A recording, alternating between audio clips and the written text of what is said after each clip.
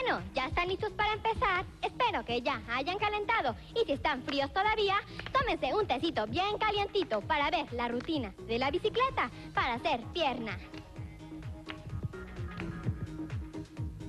Tenemos que darles por lo menos unas 30 pedaleadas. Así se nos van a entumir las piernas. ¿Qué les digo? Se les van a hinchar. Ah, y si se les duermen, cántenles las mañanitas para que se les despierte. Con las mañanitas.